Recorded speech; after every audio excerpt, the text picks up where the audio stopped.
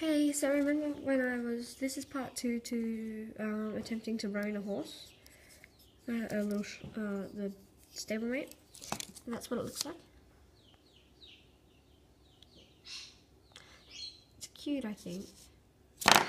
Oops. But it doesn't look like a roan. I don't even know what it looks like. It just kind of looks like a horse that was meant to be brown, but when it gets fluffy, it gets white hair.